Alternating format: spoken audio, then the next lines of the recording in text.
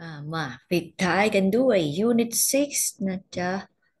เราจะมาทวนแบบฝึกหัดแรกกันตรงนี้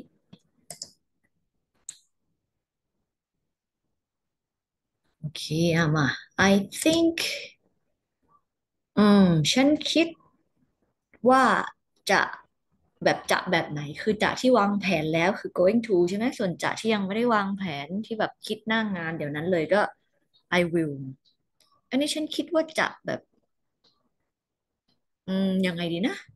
ก็จริงบอกยากเหมือนกันเนาะเพราะว่าไม่มีบริบทอะไรให้ให้เราเลยคือ I think I'm going to I think I will มันได้ทั้งคู่เลยนะเนี่ยนะ เอาอันแรกไปก่อนแล้วกันเนาะเดี๋ยวเราไปดูคำตอบเฉลยที่หลัง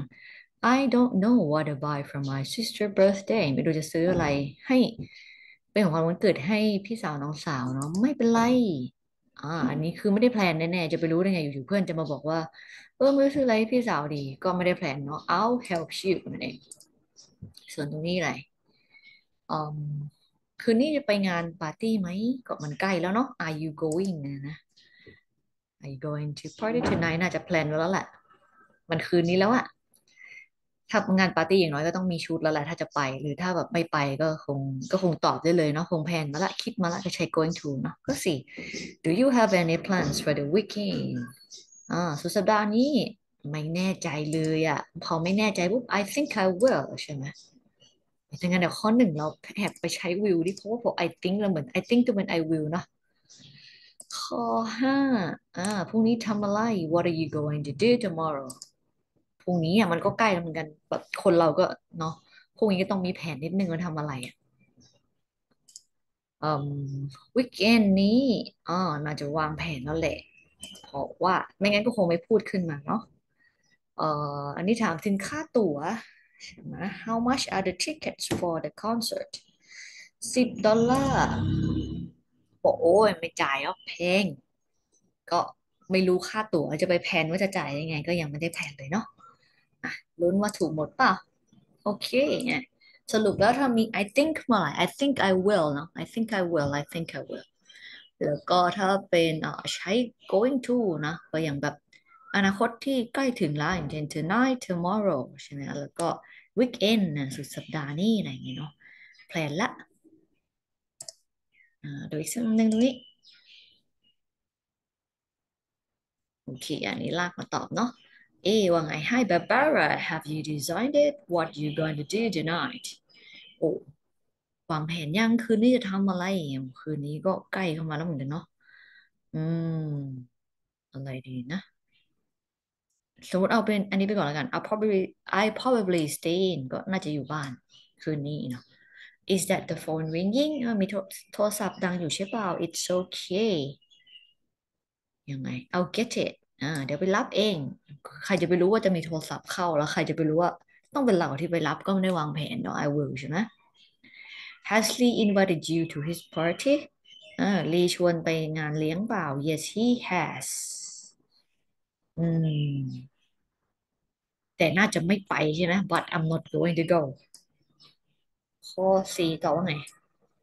Do you think I should ask Pete what his plans are เออ น่าจะถามพีทหน่อยไหมว่า แผนการของเขาคืออะไรอะ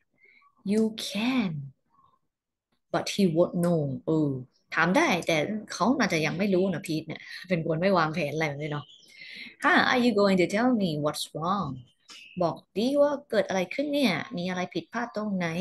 ไม่เข้าใจเลยสักครั้งนะ เอออ๋อ I'll tell you later โอเค เออ เดี๋ยวไว้ค่อยบอกแล้วกันโอเคไหม ส่วนข้อหกว่าไง What are you going to do tomorrow นี่ทำอะไร ยังไม่รู้เลย I don't know I don't know อืม อันนี้ยังไงดี I don't know I won't do it again ไม่น่าใช่ โอ้ มันจะต้องมีข้อที่สลับกันแน่ๆแล้วล่ะ เพราะว่า ดูเหมือนว่ามันจะไม่แมชเนาะคำตอบไม่ลงตัวข้อสุดท้ายแล้ว I'm not going to tell you again I'm sorry I won't do it again อ๋อวันนี้เหมือนเพื่อนมาบอกความลับอะไรเราน่าจะไปปากโป้งเนาะเพื่อนบอกจะไม่บอกเธออีกแล้ว นี่ก็ขอโทษ เออ จะไม่ทำอีก อืม ข้อหกนี่แหละที่อ่าโอเค คิดออกแล้ว น่าจะเป็นตรงนี้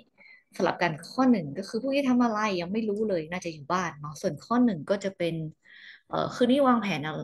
วางแผนหรือยังใช่ไหมก็อืมยังเลยเนาะ no not yet โอเค อะเรียบร้อย นี่เนาะก็ เป็นลักษณะของการถามตอบ แบบว่าการวางแผนแล้วหรือยังไม่วางแผนเนาะถ้า ยังเป็นเรื่องเนี่ยโทรศัพท์ดังอย่างที่บอก เราไม่รู้หรอกว่าสายจะเข้าตอนไหนใช่ไหมเออจะมีคนโทรมาบอกว่าจะมาส่งพัสดุตอนไหน บ่อยมากเลยนะก็ใช้วิวใช่ไหมส่วนอันนี้ก็เรื่องของงานเลี้ยงเนาะมีคนชวนเราเราก็เออพอเขาชวนเรารู้แล้วแหละว่าเราจะไปหรือไม่ไปเนาะก็เป็นเรื่องที่ต้องวางแผนก็เลยใช้เป็น going to ตรงนี้เนาะโอเคอะไป ข้างล่างต่อ ตรงนี้อะเป็น paragraph เลยนะอันนี้ New Year's Eve is really special day where I live every year there's a big street party โอ้ คือแบบทุกปีเลยนะ วันสิ้นปีใช่ไหมเป็นวันพิเศษนะ ก็จะเป็นแบบเหมือนปิดถนนเลี้ยงเลย people ทำอะไรอะ dress up เนาะแต่งตัว dress up in costume and watch fireworks อ่าไปดูพลุกันด้วย day ทำอะไรทั้งคืนเลย celebrate ไหมดี๋ยวนะเฉลิมฉลองทั้งคืนแล้วก็ อืม อืมเฉลิมฉลองได้ไหมข้างหลังเลยกัน celebrate happily น่าจะแบบ stay up เนาะก็คืออยู่ทั้งคืน ข้ามคืนเลย แล้วก็ฉลองกันแบบมีความสุขเนาะ it's fantastic มันสุดยอดมาก แล้วปีนี้พ่อแม่ก็จะมาทำอะไรด้วย visit พ่อแม่จะมาเยี่ยมเราด้วยยังไม่รู้เลยว่าอะไรอะแบบพ่อแม่จะ enjoy หรือเปล่ากับงานปาร์ตี้พวกนี้เนาะ we'll also have a small celebration at home เนาะก็จะมีการเฉลิมฉลองกันเล็กน้อยที่บ้านเนาะ where we will exchange อ่าแลกของขวัญกัน exchange present but I won't I won't make a cake อืมเขาน่าจะไม่ทำเค้กอะเพราะว่า